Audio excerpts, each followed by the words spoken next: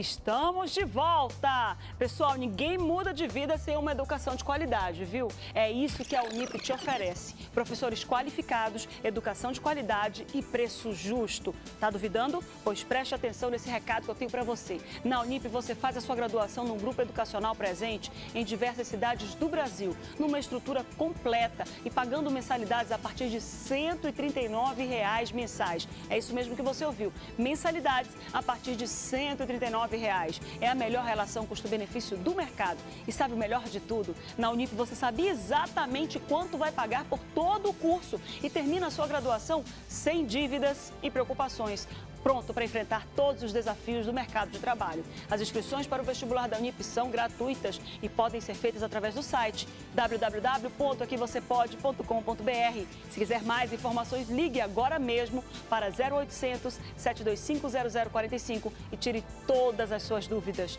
O que você está esperando, hein? Pare de se perguntar o que é necessário para mudar de vida e inscreva-se agora mesmo. Venha para o Unip, aqui você pode.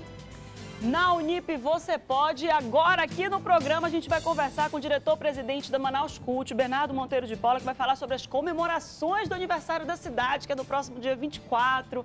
Bom dia, tudo bem, diretor? Bom dia, tudo ótimo. Como é que tá a programação? Tá excelente. A gente é a segunda é dia edição. De festa, hein? Segunda edição do Passo a Passo, é, no centro de Manaus, ali na frente do Passo Municipal. São mais são aproximadamente 40 chefes, teatro, música, gastronomia e o principal, um ambiente montado, prazeroso para as famílias poderem conviver no centro antigo de Manaus, que é muito bonito. Como é que, quais são os horários, quais são os dias? Vai ser só no sábado mesmo, não? Começa no sábado, 4 horas da tarde, até as 10 horas da noite. No domingo também, de 4 da tarde até as 10 da noite. É, os maiores chefes de Manaus estarão presentes. É, teremos de atração é, cultural, é, Banda Soda Billy, é, Tiago Silva, nossa, uma programação bem extensa, inclusive uma peça de teatro, na verdade, Luiz Carlos Vasconcelos, um grande ator, estará com performance tanto no sábado quanto no domingo, a partir das 8 horas da noite. O Passo da Liberdade estará aberto, a visitação, toda a parte da arqueologia, o Salão Nobre, é, temos uma exposição, Onde Passo também enfim, uma programação pra montada toda, né? exclusivamente para até mesmo para celebrar os 346 anos de Manaus. Esse ano a gente tem um diferencial. Uhum. É, nessa edição a gente montou um teatro de arena é, no estacionamento do Passo da Liberdade, que fica de frente para o Rio Negro. E a gente lá Feia vai que ter... só a visão, né? Vai ser... De frente para o Rio Negro. E você sabia que temos jornalistas de fora que estão vindo para cobrir o nosso evento. Então, as maiores revistas de gastronomia especializadas, Prazeres da Mesa, nós temos também a revista Menu, diversos atos. É, por exemplo, Tomás Troagô está chegando também, o Guga Rocha. Para divulgar é, é o que a gente maquete, tem de bom. né? Essas imagens Isso. que a gente está vendo de como é que vai ser lá, né? É, são... A disposição aí da, dos restaurantes, cada um com uma, com, uma, com uma tenda, não é isso? Ali embaixo vai, vai, nós teremos um estúdio, um coletivo de, de artes com moda, é, artesanato. Esses são os food trucks que vão ficar na frente do Palácio Rio Branco. Muito legal, olha só. Quer dizer, é toda uma estrutura, né? Toda uma, uma estrutura preparada só para atender a, a, população, atender as famílias todas e principalmente ter também acesso cultural, né? Manaus aí, vive, o teatro que a gente está montando lá, Manaus vive um novo momento. Nós estamos é, celebrando o terceiro aniversário de Manaus no centro de Manaus. Então, é, no primeiro ano, Mercado do Fu Lisboa, revitalizamos. Depois de sete uhum. anos fechado, o prefeito Arthur Vigílio Neto fez o, o mercado em sete meses. Voltamos no segundo aniversário, entregando a Galeria dos Remédios, mais um espaço para os camelôs que saíram das ruas e passaram a ser microempreendedores. Tivemos o Fábio Júnior também, na Avenida Eduardo Ribeiro. E nesse ano voltamos com a programação de música, gastronomia, cultura, teatro, artesanato, convivência, que Manaus se prepara para um novo e a, momento. E dar acesso à população a grandes chefes, o povo que está, ah, o restaurante fulano é muito caro, não dá para ir lá e tal, ou se der para ir, a gente tem que juntar aí muito tempo e tal. Não, é, isso é uma oportunidade também para que todos tenham acesso à gastronomia. E né, com é preços é de 5 reais a 18 reais. Então nós temos preços acessíveis para a população. O que importa mesmo é poder aproveitar esse momento no centro de Manaus, e ter um momento agradável. O turista, quando esteve aqui na Copa do Mundo, ele ficou no centro. E não vai ser diferente agora nas Olimpíadas. O turista estará no centro. Só que agora temos outras opções. Temos, além do Largo, nós temos o Passo da Liberdade, o Mercado do Lisboa, que passa por também revitalização. Então, é Manaus que se prepara cada vez mais para ser um grande destino turístico. E é linda. A gente, a gente mesmo que já mora aqui, que, já, que vive aqui na cidade há muito tempo, quando vai ao Largo São Sebastião, parece que a gente está assim, a gente é, rememora um pouco a Manaus antiga, porque muitas coisas foram preservadas ali, né? Esse, essa, esse patrimônio cultural e histórico foi preservado. E quando a gente vai lá no Adolfo Lisboa, lá no Geraldo, Geraldo, meu filho, também a gente, a gente admira muito isso. E para o turista é, é tudo novo novo, é tudo bonito, é tudo para se, se aproveitar, né, diretor-presidente? É verdade, a gente é, tem toda essa programação, a gente está recebendo três jornalistas, agora vou sair daqui correndo no aeroporto, uhum. e a primeira coisa que eles querem fazer é no mercado do Lisboa, querem sentir os aromas, os temperos, como é que é o peixe, é, são ávidos por conhecer a nossa gastronomia. Manaus tem de tudo para ser um grande destino turístico e é isso que o prefeito tem cada vez mais é incentivado na requalificação dos nossos espaços entregamos a Ponta Negra, que é importante, cartão postal da cidade, muito importante para o turismo. Estamos fazendo agora a segunda a revitalização da Avenida Eduardo Ribeiro, com as calçadas, que é as fachadas né? revitalizadas, né? os paralelepípedos voltarão para Eduardo Ribeiro. Tudo isso para tornar a cidade cada vez mais atrativa para o turismo. O turismo que é importante, é uma importante forma de gerar é, rendimentos para a população. Quando a gente olha Portugal, Espanha, todos saíram da crise, e na crise desenvolveram seu turismo como fonte de renda. Esse dólar alto do jeito que está, muitos americanos, europeus estarão aqui em Manaus nas Olimpíadas. E é isso que faz dinamizar a nossa economia. E, é, e, é um momento em que, em vez de todo mundo sair chorando, a gente tem muita gente que comemora. E a gente tem que comemorar porque é um momento que a gente vai ser visado, que a gente vai ser visto e principalmente mostrar para os turistas, como nós já mostramos na Copa, mostrar para os turistas que o Amazonas sabe receber, sabe atender e sabe como se comportar para atender Fomos os turistas. Fomos eleitos né? pelo Ministério do Turismo como a cidade mais hospitaleira. O Ministério do Turismo, durante a Copa do Mundo, fez uma pesquisa. Qual cidade você foi mais bem recebida? Nós fomos escolhidos com 97% dos votos. Então, Muito isso nos enche de orgulho. Se nós temos uma população hospitaleira, se nós temos essas belezas naturais que são insondáveis, se nós temos é, a comida, a gastronomia fantásticas, é, o Teatro Amazonas, nós temos de tudo para ser esse grande destino turístico. Então, pronto, a partir de sábado, às 4 horas da tarde até às 10 horas da noite, a segunda edição do Passo a Passo, que vai ser lá no Passo da Liberdade, 17 e 18, tá aí o horário, tudo direitinho, você que está acompanhando aí. Evento gratuito. Exato, isso, eu já ia falar isso, mas ainda bem que você falou. Incentiva também a população a usar trans, o transporte coletivo, seja ônibus, seja é, táxi, para poder chegar lá, se divertir é, foi reforçada as linhas de ônibus, estão reforçados também os pedidos Sem estresse para estacionar, também. né? Pra não, não ter estresse naquela... para curtir realmente esse momento e celebrar os 346 anos de Manaus. Diretor-presidente da Manaus Curte, Bernardo Monteiro de Paula, muito obrigada. Obrigado. Estamos sempre abertos, viu? Para receber aí, principalmente dar essa boa notícia aí, porque é o terceiro aniversário da cidade comemorado na capital, dentro da cidade, o que é muito importante, viu? Muito obrigada, viu? Obrigado. Olha só, você que está aí do outro lado, são 11 horas e 45 minutos. Vamos ver onde... Hoje, nossa repórter comunidade é a Priscila Gama, né? A Priscila saiu do boletim correndo para fazer esse vivo hoje. Onde é que a Priscila tá agora? Tá no barraca do Bexiga mesmo? Priscila Gama, vai comer pizza hoje, né, Priscila? Bom dia! Olá, Márcia, bom dia para você, bom dia a todos que acompanham e assistem aí o programa agora, o programa da comunidade. Hoje nós estamos aqui no Clube do Trabalhador, no SESI, aqui na Avenida Cosme Ferreira, para falar do evento da Barraca do Bexiga. E claro, o nosso link ao vivo tem que ser bem alto astral, porque hoje é sexta-feira. E vamos falar um pouco mais sobre esse evento. Ele surgiu lá em 1984, é, foi uma ação entre amigos. E essa Barraca do Bexiga, Márcia, ela fazia parte da Feira da Bondade, que acontecia aqui no SESI também. Na época, eram 300 pizzas, no caso 100 por noite, e todo o lucro arrecadado, todo todo o valor arrecadado era destinado para as, para as associações. Aqui ao meu lado está o seu Cid Fontana, o idealizador desse projeto, dessa ação entre amigos, e ele vai falar um pouco mais, seu Cid, como foi que começou e desde sempre, né? Sempre foi para ajudar essas associações, é, nunca mudou a ideia. Bom dia, Priscila. Esse foi um evento que começou por brincadeira aqui. Eu morei 13 anos em Manaus.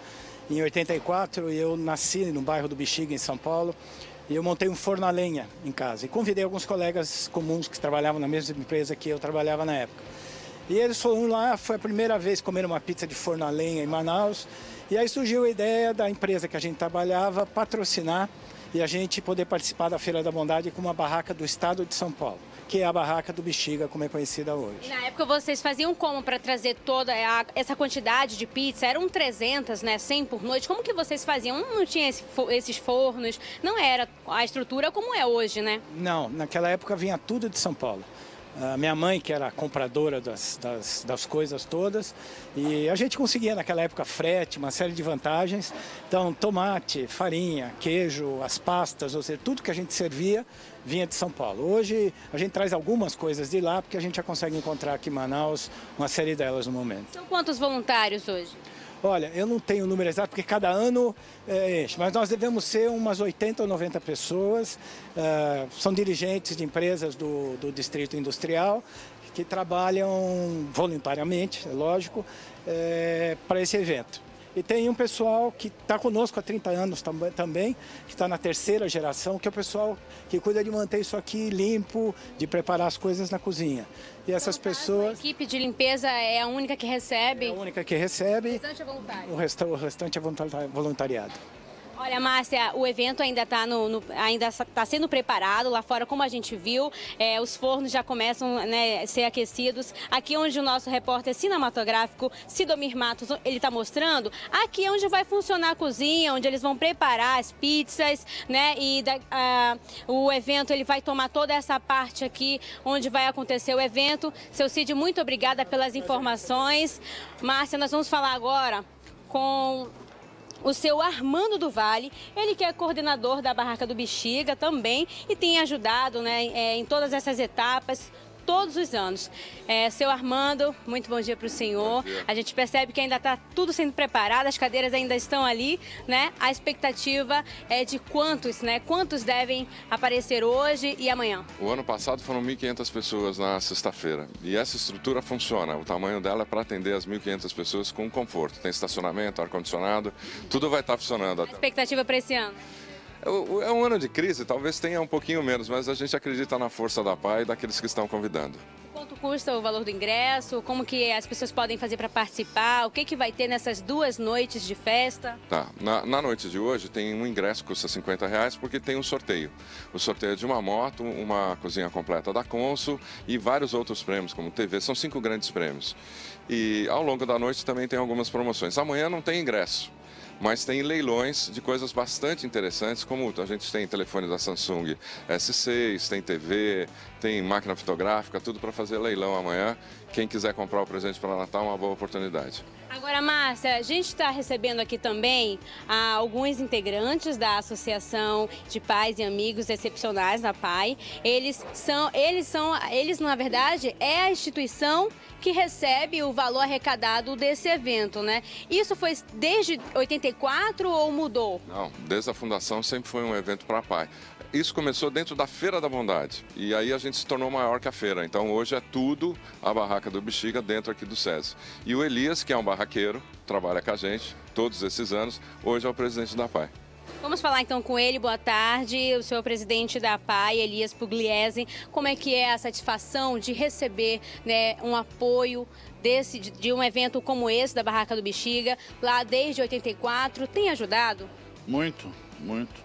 Principalmente final do ano, né? Que a gente tem 13 terceiro, essas coisas. Então praticamente o dinheiro da barraca cobra até fevereiro do ano que vem. Então realmente é um evento que já vem ajudando há mais de 30 anos, né? E é muito bom, muito bom. E as crianças aqui, elas agradecem. Ele, outra coisa, ele não disse, mas sábado nós temos um show de boi aqui com as crianças, que é um espetáculo muito legal, vale a pena vir ver. Vim assistir, tá? Então esses meninos fazem, um deles, os três aqui fazem parte também do boi. Vale a pena vir assistir.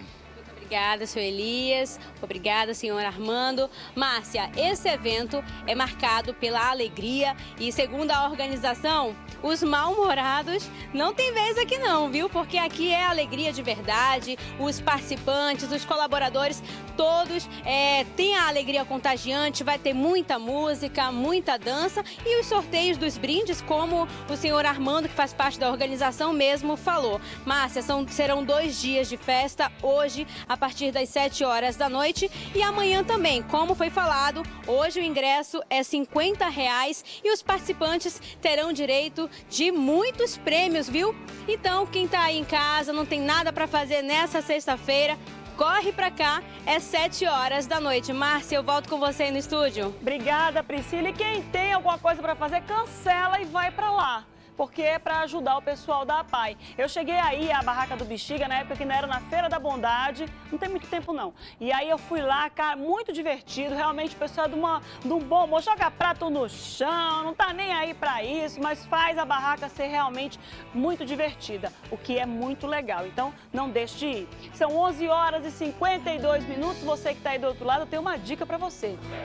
Aliás, é uma grande novidade. O consórcio Honda já entregou mais de 5 milhões de motos e para comemorar essa marca histórica, vai dar 50 motos CG 160 Titan todos os meses. Na promoção chegou a sua vez. Isso mesmo, serão 50 motos CG 160 Titan. Para participar é muito fácil. Compre uma cota de consórcio Honda e você já estará concorrendo. Olha só que legal. E você que já é cliente do consórcio Honda, pague suas parcelas em dia e aumente ainda mais as suas chances de ser premiado. O consórcio Honda é o melhor caminho para realizar seu sonho, com parcelas que cabem no seu bolso. É muito fácil e barato comprar a sua Honda. E o melhor de tudo, você não paga juros. Olha só, vou te dar um exemplo. Pop 110i a partir de 103 reais mensais. NXR 160 Bros ESD a partir de 199 reais mensais. Não perca tempo. Faça já o seu consórcio Honda e participe da promoção. Chegou a sua vez. Você poderá ganhar 50 motos CG 160 Titan todos os meses. Promoção, chegou a sua vez, consórcio Honda. Acesse o site ou vá a uma concessionária Honda mais próxima. Você que tem doutorado, a gente vai mudar de assunto, são 11 horas e 53 minutos. Você está acompanhando a gente, pode ligar também para 3307-3951 e 3307-3952. Olha só, gente, vamos falar de cachorrinho, que não são cachorrinhos, são filhinhos, né? As altas temperaturas exigem cuidados com os animais de casa, porque o sol forte também castiga o cão, que pode sofrer fadiga, desidratação e até queimaduras nas patas. Então, quem tem os seus filhinhos aí de quatro patas, atenção, coloca aqui na tela.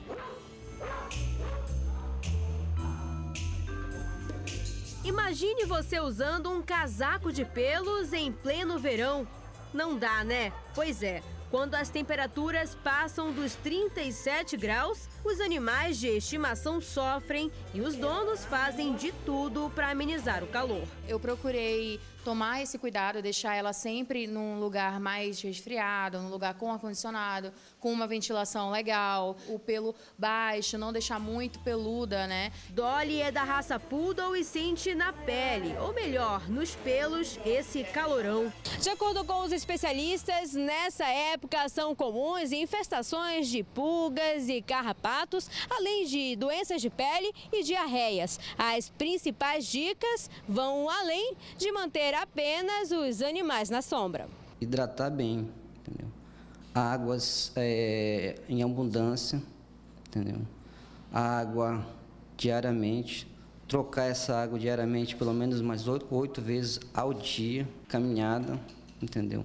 Eu recomendo nos primeiros horários do, durante o dia ou à noite, Nesta clínica veterinária, no início do mês, a procura foi grande para tosa e atendimentos médicos. Mas ainda assim, o número foi 60% menor do que no ano passado. Para os empresários, a queda no movimento está diretamente ligada à crise econômica. Nesta ONG vivem pelo menos 40 cães e 35 gatos. E por aqui, a rotina também teve que mudar, principalmente na quantidade de banhos e a troca de água. Frequentemente a gente tem que vir no abrigo, né? Colocamos mais vasilhas d'água para poder manter, né, eles hidratados, mas mesmo assim eles sofrem muito calor porque o ambiente é muito quente, a cidade é muito quente. Caroline também é integrante da ONG. A preocupação dela é com o ambiente. Além do uso de ventiladores, a limpeza é constante por aqui. Porque quando a gente lava, até que esfria mais um pouco, né? Do clima do nosso, nosso estado, né? Ser muito quente. Mas a nossa preocupação é essa com eles, de cuidar, né? E de principalmente dar amor para eles, né? Que isso é uma cuidar é uma forma de amor, né?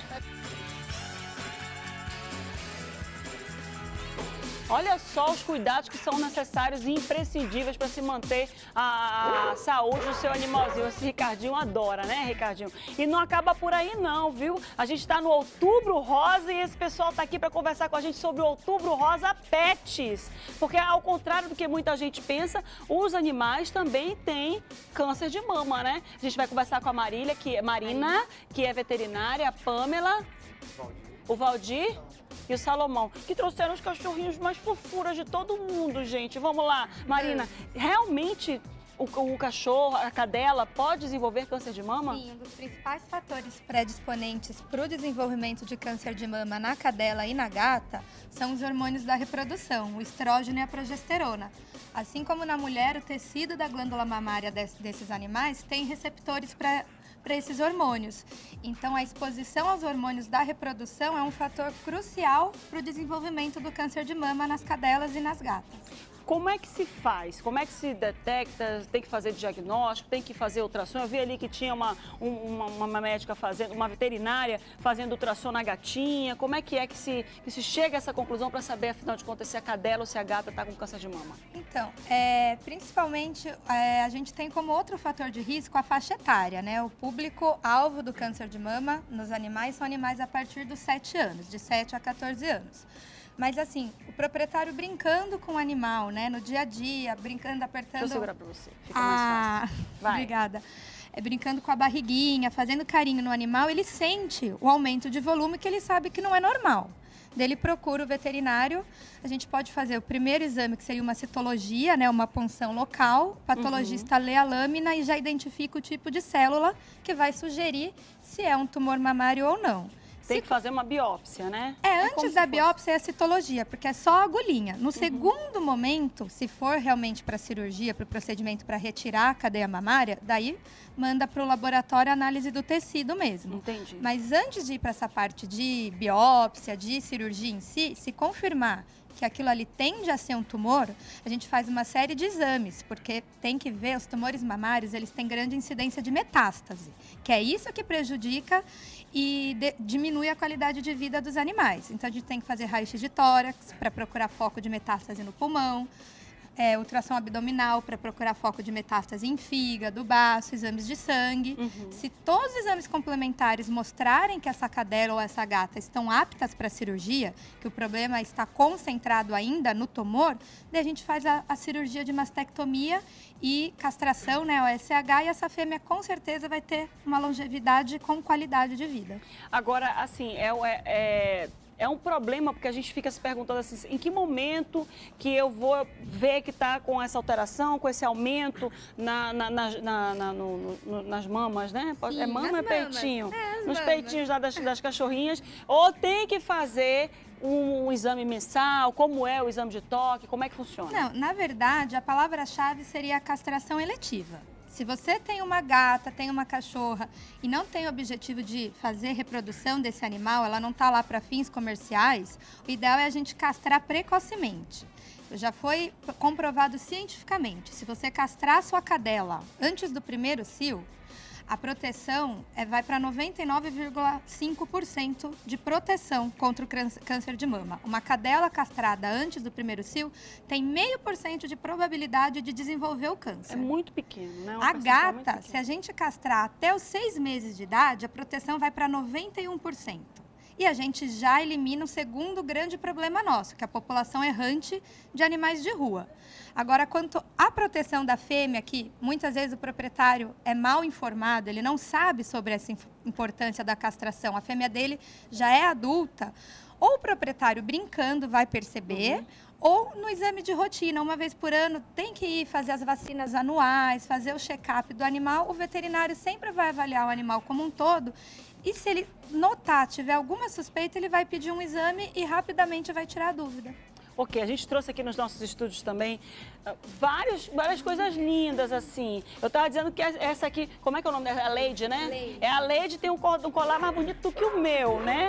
Vocês dois são proprietários da Lady? Não, eu... A Pamela é? Veterinária também? É aluna. Sim. Manda um beijo pros teus alunos, que eu tô cheio do cabelo solto, né? Avisa pra eles aí, né? Que essa era a promessa. Oi, Pamela. Então, a Leide, ela é, ela é filha de, uma, de, uma, de um resgate que nós tivemos. Inclusive, a mãe dela, quando foi abandonada com, com os irmãozinhos, uhum. que são o, os filhotes, uhum. ela tinha é, câncer de mama, tumor de mama. E aí nós a resgatamos, fizemos a cirurgia não. e hoje a Leide ela está para adoção. Então, quem ela tá tiver tá interessado. Isso, quem ela, tiver ela, interessado. Ela, é anos ela tem? Ela já tem dois Fecha anos, está castrada, vacinada. E quem tiver interesse pode entrar em contato conosco, que ela é um animal muito dócil, está apta para adoção. Não, fecha aqui nela para mostrar a docilidade da Lady. Presta atenção nisso aqui, olha só. É impressionante porque às vezes eu coço o Robson, ele faz isso também. O meu marido, sabe? Olha só isso, gente. Que coisa, né? Oh, mas ele não é cachorro não, tá? Ele não é não, tá bom? Essa é a Leide, ele é o meu gato, é, o meu gato. E também está o professor Valdir. Também. É... Também está aqui ajudando para achar um pai. É porque o meu apartamento é muito pequeno, mal dá pra gente. Oh, meu Deus. É... Vai falando, Valdir. A gente está agradecendo essa oportunidade para divulgar a nossa campanha, que é a primeira campanha que está sendo realizada aqui no, no estado do Amazonas, uhum. que é o Outubro Rosa, Outubro Rosa Pet, que vai ser realizada amanhã, dia 17, das 9 ao meio-dia, na unidade 1 da, da Escola Superior Batista do Amazonas, a ESBAN. Uhum. É, essa campanha tem uma parceria muito grande. Ela é, vai contar aí, é, principalmente com a prevenção uhum. e possíveis tratamentos. É, na campanha a gente vai fazer uma triagem é, dentre os animais que, que a gente receber. A gente está prevendo aí de 150 a 200 animais e a gente está é, é importante colocar que vai ser gratuito. Tá? É gratuito, a Ingrid estava falando para mim. É uma aqui. campanha aqui que está envolvendo bastante, bastante pessoas, Cheguei. outros alunos, a gente até agradece. Deixa eu virar aqui para você. Uhum. A gente até agradece. Não precisa virar para mim, não, vira ah, ali para tá. frente, que é o pessoal de casa que A gente importa. até agradece a, os outros alunos que nos ajudaram. A Pamela é nossa aluna, foi ela que começou com a ideia e a gente comprou é, e hoje a gente está realizando é, essa divulgação para esse evento inédito que vai acontecer. Ninguém mexe com a lei, deixa a lei dormindo aqui até o final, vou logo avisando. Tem para dar também isso daqui, né? né? Ele só veio passear aqui no estúdio, né? Como é que é o nome dela? Angel. Essa é a Angel. Olha, eu já tinha conversado com todo mundo, já tinha me dito o nome de todo mundo, mas é óbvio que eu esqueci. É claro que eu esqueci. Essa aqui é a Angel. Quanto tempo tem? Três meses. Vai castrar? Não, vai castrar. Vai. Vai castrar também? A castração é gratuita? Não. A gente. Que é caro, né? Deve Não, ser um procedimento. É... Vai, explica aí rapidinho. Rapidinho que o, o pessoal já tá, porque eu quero ficar com a lei, mas não posso ficar só com um que a gente vai dar prioridade. O não, foco do nosso evento no sábado vai ser uma triagem dos animais das fêmeas que forem até lá. Uhum. Quem tiver suspeita de câncer de mama vai passar por essa pré-avaliação. Vai, vai ser o animal vai ser cadastrado. A gente vai fazer uma série de exames complementares e quem estiver apto vai para a segunda etapa da nossa campanha, que vai ser a mastectomia, que é a retirada da cadeia mamária com o tumor e consequente castração. Ótimo. Os animais que não tiverem tumor, que estiverem saudáveis, passarão por outras atividades, vermifugação, vacinação. Mas o nosso foco amanhã é a fêmea que tem o tumor de mama que é para justamente aí tentar salvar a fêmea, né, ou resolver aí se for o caso. Vai ter o Novembro Azul também, é, professor Valdir? É, a gente já gostaria de aproveitar a oportunidade. Gato, repente, presta atenção, Inédito, viu? hein? Lança aí em primeira mão. É, a gente estava conversando, a campanha foi muito bem divulgada, teve uma repercussão É a primeira, vocês resolveram agora ali, né, conversando, é, mais ou né? menos. A gente já está discutindo algumas coisas há, um mês, um mês e meio atrás. É, com o sucesso dessa campanha para as fêmeas, por que não os machos também, né? Molhar um pouquinho para os meninos. Oh, meu Deus. E Gato Júnior aqui é quem está falando. A gente já, já volta aqui também, tá? Beleza. Estaremos aqui. O gato tá com medo do cachorro. O Eduardo tá dizendo aqui, viu, gato? O nome dele é Gato mesmo, Gato ah. Júnior. Tá dado o recado, telefone para contato. Tem um telefone para contato? Diz aí, Pamela. É o 99394 7426. E pode falar o seu. É 992738848. A gente dá maiores informações. O telefone não para de tocar aí já a semana toda. Show de bola. E a gente vai para um rápido intervalo enquanto eu vou brincar mais com a Lady ou com a Angel. A Angel, tu não larga a Angel, né? tu tem ciúme da Angel. Eu tô só, eu tô só de... A gente vai para um rápido intervalo, daqui a pouco a gente tá de volta. Oxe, meu Deus, vai dormir. Tanto carinho no pescoço, né? Oh, meu Deus, deixa ela aqui. Ninguém mexe com ela, não. Ela vai ficar aqui, hein? O resto do programa. Duvido se vão deixar ela aqui, não querer levar, né?